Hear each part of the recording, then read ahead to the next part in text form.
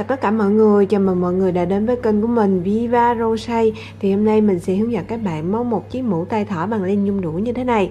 Ok bây giờ chúng ta sẽ bắt đầu luôn nha. Chất liệu đây mình sử dụng đó là len nhung đũa nặng khoảng 100g một cuộn và ở đây thì các bạn cần phải có 3 cuộn với hai màu khác nhau. Cụ thể đó là các bạn cần phải có hai cuộn màu trắng và một cuộn màu hồng. Và kim móc ở đây mình dùng có độ dày đó là 10mm thì bước đầu đó là các bạn sẽ dùng len màu trắng này và bắt đầu móc phần chớp cho chiếc nón. Thì để móc được phần chớp, trước hết đó là các bạn cần phải tạo một vòng tròn ma thuật. Và cách tạo vòng tròn ma thuật sẽ là như sau. Bước đầu đó là các bạn sẽ để hai ngón tay song song với nhau như thế này. Sau đó thì các bạn sẽ dùng len và quấn quanh hai ngón tay này một vòng. Sau khi mà các bạn đã tạo được một phần lỗ rồi thì các bạn sẽ lấy phần lỗ này ra khỏi hai ngón tay. Tiếp theo đó là các bạn sẽ đâm kim móc vào phần lỗ này, kéo len qua và bắt đầu từ đây thì các bạn sẽ móc lên dòng thứ nhất của phần chớp. Và để móc lên dòng thứ nhất trước hết đó là các bạn sẽ móc lên cho mình hai mũi móc xích. Sau đó thì các bạn sẽ đâm vào phần lỗ này và móc liên tục cho mình 10 mũi nửa kép cùng một phần lỗ.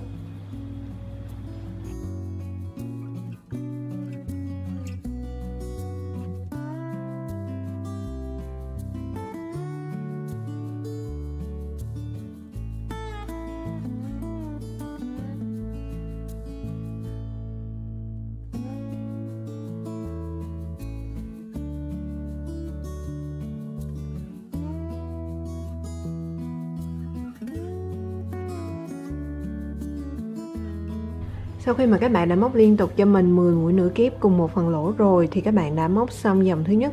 Và để cho cái hình tròn này trở nên khép kín thì các bạn sẽ cầm cái sợi len ở ngoài cùng này. Tiếp theo đó là các bạn sẽ kéo lại cho thật chặt. Và tổng số chân mũi hiện giờ các bạn đang có cho dòng thứ nhất là 11 chân mũi. Và để kết thúc dòng thứ nhất thì các bạn sẽ đâm vào chân mũi đầu tiên của mũi móc xích thứ hai là nằm ở đây. Sau đó thì các bạn sẽ kéo lên qua và móc cho mình một mũi dời tiếp tục, đó là các bạn sẽ móc lên cho mình dòng thứ hai. Và để cho cái hình tròn này to dần qua các dòng, thì bắt đầu từ dòng thứ hai thì trở đi, các bạn sẽ tăng mũi cho mình và cụ thể cách móc dòng thứ hai sẽ là như sau. Đầu tiên, đó là các bạn sẽ móc lên cho mình hai mũi móc xích, một và hai. Sau đó thì các bạn sẽ đâm vào chân mũi đầu tiên này, móc thêm cho mình một mũi nửa kép. Tiếp tục, đó là các bạn sẽ đâm vào chân móc thứ hai và móc liên tục cho mình hai mũi nửa kép cùng một chân như vậy, công thức tăng mũi cho dòng thứ hai đó là mỗi một chân mũi các bạn sẽ đâm vào và móc liên tục cho mình hai mũi nửa kép cùng một chân. Và các bạn sẽ lặp lại công thức tăng mũi như vậy cho đến hết dòng thứ hai. Sau khi mà các bạn đã móc xong dòng thứ hai rồi thì tổng số chân mũi giờ các bạn đang có là 22 chân mũi và để kết thúc dòng thứ hai thì các bạn sẽ đâm vào chân mũi đầu tiên của mũi móc xích thứ hai nằm ở đây. Sau thì các bạn sẽ kéo lên qua và móc cho mình một mũi dời. Tiếp tục đó là các bạn sẽ móc lên cho mình dòng thứ ba và để móc dòng thứ ba trước hết đó là các bạn sẽ móc lên cho mình hai mũi móc xích. Sau thì các bạn sẽ đâm vào chân mũi thứ hai này, móc liên tục cho mình hai mũi nửa kép cùng một chân.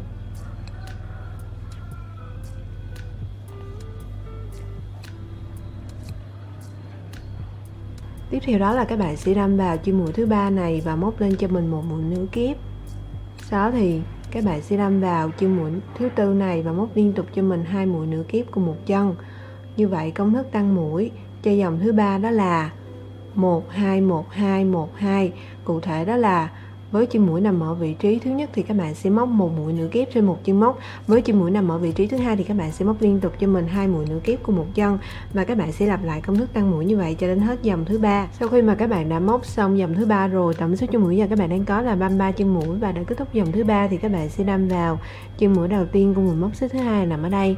Sau đó thì các bạn sẽ kéo lên qua và móc cho mình một mũi dời. Tiếp tục đó là các bạn sẽ móc lên cho mình dòng thứ tư. Và để móc dòng thứ tư trước hết đó là các bạn sẽ móc lên cho mình hai mũi móc xích. Sau đó thì các bạn sẽ đâm vào chân mũi thứ hai này, móc lên cho mình một mũi nửa kép. Tiếp tục, đó là các bạn sẽ đâm vào chân mũi thứ ba và móc liên tục cho mình hai mũi nửa kép cùng một chân.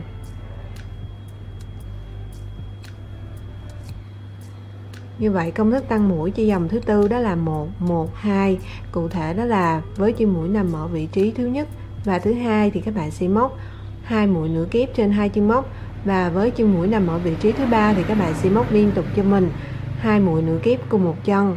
Và các bạn sẽ lặp lại công thức tăng mũi như vậy cho đến hết dòng thứ tư. Sau khi mà các bạn đã móc xong dòng thứ tư rồi thì tổng số chân mũi giờ các bạn đang có là 44 chân mũi. Và đã kết thúc dòng thứ tư thì các bạn sẽ đâm vào chân mũi đầu tiên của mũi móc xích thứ hai nằm ở đây. Sau đó thì các bạn sẽ kéo lên qua và móc cho mình một mũi dời. Và sau khi mà các bạn đã móc xong dòng thứ tư thì các bạn đã móc xong phần chớp cho chiếc nón. Bước tiếp theo bắt đầu từ dòng thứ năm trở đi, các bạn sẽ chuyển qua móc phần thân nón. Vì vậy mà các bạn sẽ không cần tăng mũi nữa, mà các bạn chỉ đâm vào mỗi một chân mũi và móc lên cho mình mỗi một mũi nửa kép. Và cụ thể cách móc dòng thứ năm sẽ là như sau đầu tiên đó là các bạn sẽ móc lên cho mình hai mũi móc xích sau đó thì các bạn sẽ đâm vào chân mũi thứ hai này, móc lên cho mình một mũi nửa kiếp thì đến đây các bạn sẽ bắt đầu lặp lại các bước. Đó là các bạn sẽ đâm vào mỗi một chân móc và móc lên cho mình mỗi một mũi nửa kiếp cho đến hết dòng thứ năm. Và sau khi mà các bạn đã móc xong dòng thứ năm rồi, với các dòng còn lại các bạn cũng sẽ lặp lại các bước tương tự, giống như là dòng thứ năm mình đã hướng dẫn. Và tổng số chân mũi sau khi mà các bạn móc xong cho mỗi dòng sẽ luôn được giữ nguyên là 44 chân mũi. Và các bạn sẽ lặp lại các bước như vậy cho đến hết dòng thứ 8 sau khi mà các bạn đã móc xong dòng thứ 8 rồi thì các bạn đã móc xong phần thân nón và bước tiếp theo. Đó là các bạn sẽ kết liên lại bằng cách là móc lên cho mình một mũi móc xích. Sau đó thì các bạn sẽ kéo lên ra một đoạn và dùng kéo cắt đi phần đoạn len thường này cho mình. Tiếp theo đó là các bạn sẽ kéo mối nối này lại cho thật chặt. Bước tiếp theo đó là các bạn sẽ dùng len màu hồng này và móc phần viền cho mình. Và cụ thể cách móc sẽ là như sau. Đầu tiên đó là các bạn sẽ đâm vào chân mũi đầu tiên này, kéo len màu hồng qua. Sau đó thì móc lên cho mình một mũi móc xích. Tiếp theo đó là các bạn sẽ đâm kim móc ngược về lại phía sau. Các bạn sẽ đâm vào chân mũi thứ 44 này. Sau đó thì kéo lên qua. Sau khi đã có hai đầu len trên cùng kim móc như thế này rồi thì các bạn sẽ dùng kim móc và kéo lên qua hai đầu len này cho mình. Như vậy là các bạn đã có được một mũi viền rồi. Tiếp tục, đến chân móc thứ 43 các bạn cũng sẽ móc tương tự như vậy cho mình. Thì đến đây các bạn sẽ bắt đầu lặp lại các bước. Như nãy giờ mình đã hướng dẫn đó là các bạn sẽ đâm vào mỗi một chân móc và móc lên cho mình mỗi một mũi viền và các bạn sẽ móc theo kiểu lùi lại. Và các bạn sẽ móc như vậy cho đến khi nào mà các bạn móc và quay lại điểm bắt đầu là nằm ở đây. Sau khi mà các bạn đã móc vào quay lại điểm bắt đầu rồi thì bước tiếp theo đó là các bạn sẽ đâm vào chân mũi đầu tiên này và móc lên cho mình một mũi viền.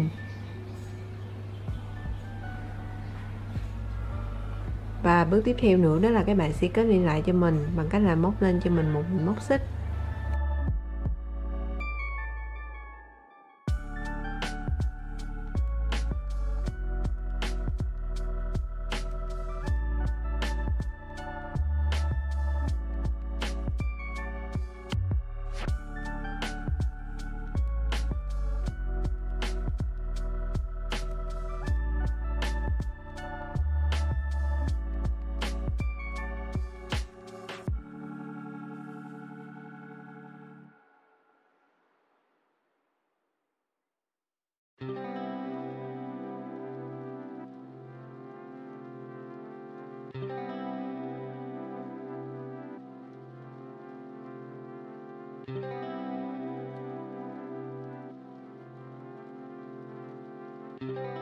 Bước tiếp theo đó là các bạn sẽ tiếp tục dùng len màu hồng này và bắt đầu móc hai phần tay thỏ cho mình. Thì đầu tiên đó là mình sẽ hướng dẫn các bạn móc phần tay thỏ thứ nhất trước nha. Để móc phần tay thỏ thứ nhất, trước hết đó là các bạn cần phải lấy mũi đầu tiên cho mình.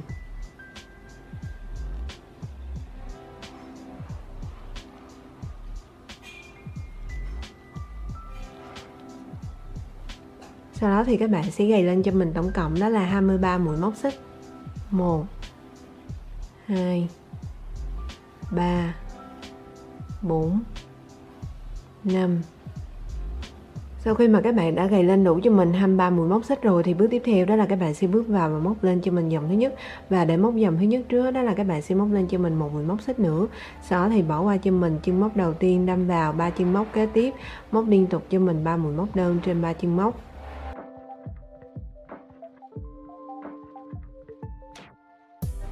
Tiếp theo đó là các bạn sẽ đâm vào 12 chân móc kế tiếp móc liên tục cho mình 12 mũi nửa kép trên 12 chân móc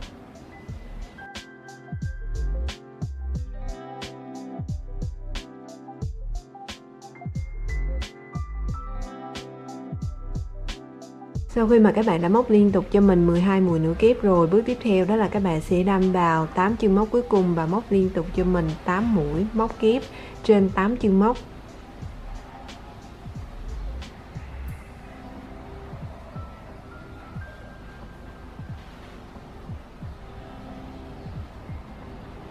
Tiếp theo nữa đó là các bạn sẽ tăng mũi cho phần đầu của tay thỏ bằng cách là các bạn sẽ đâm vào chân mũi cuối cùng này và móc liên tục cho mình 7 mũi móc kép cùng một chân mũi.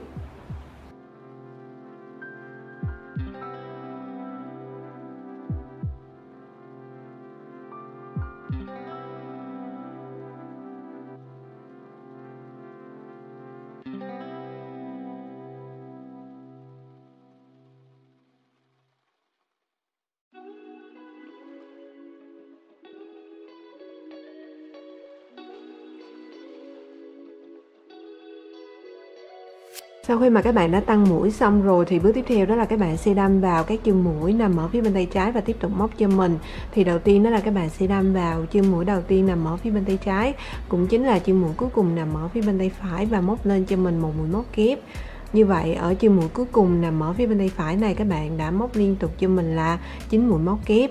Tiếp theo đó là các bạn sẽ đâm vào 7 chân móc kế tiếp móc liên tục cho mình 7 mũi móc kép trên 7 chân móc Sau khi mà các bạn đã móc liên tục cho mình 7 mũi móc kép trên 7 chân móc rồi, thì với 12 chân móc kế tiếp thì các bạn sẽ móc liên tục cho mình 12 mũi nửa kép. Sau đó còn lại 3 chân móc cuối cùng thì các bạn sẽ móc liên tục cho mình 3 mũi móc đơn trên 3 chân móc và mình sẽ gặp lại các bạn sau khi mà các bạn đã móc đến hết chân mũi cuối cùng nha. Sau khi mà các bạn đã móc đến hết chân mũi cuối cùng rồi thì các bạn đã móc xong dòng thứ nhất bước tiếp theo, đó là các bạn sẽ kết liên lại cho mình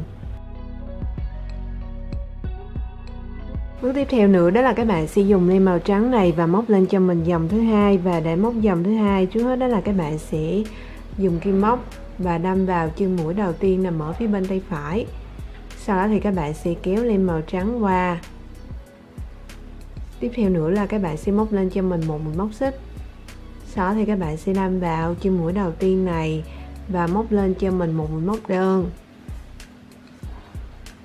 Và như vậy các bạn sẽ đâm vào 23 chân mũi và móc đủ cho mình 23 mũi móc đơn. Và mình sẽ gặp lại các bạn sau khi mà các bạn đã móc đến hết chân mũi thứ 23 nha.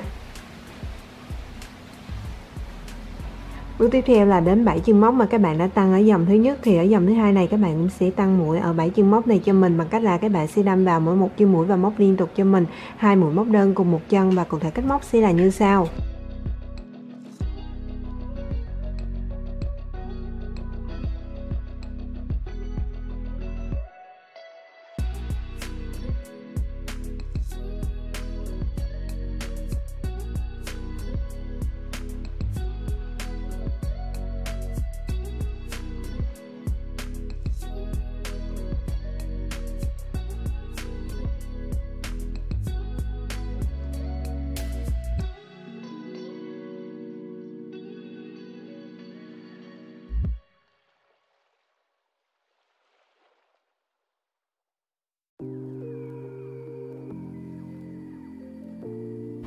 Sau khi mà các bạn đã tăng mũi xong rồi thì bước tiếp theo đó là các bạn sẽ đâm vào 23 chân mũi còn lại và móc liên tục cho mình 23 mũi móc đơn trên 23 chân móc và mình sẽ gặp lại các bạn sau khi mà các bạn đã móc đến hết chân mũi cuối cùng nha.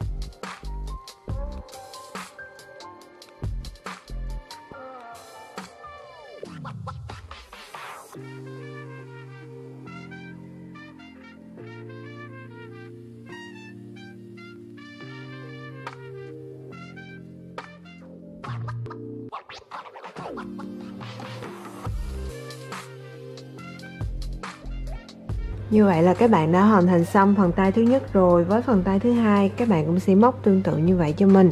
Và sau khi mà các bạn đã có hai phần tay như thế này rồi, Thì bước tiếp theo đó là các bạn sẽ gắn hai phần tay này vào phần nón cho mình. Và cụ thể là các bạn sẽ gắn ở hai bên đầu thuộc dòng thứ ba của phần nón Và cách gắn sẽ là như sau.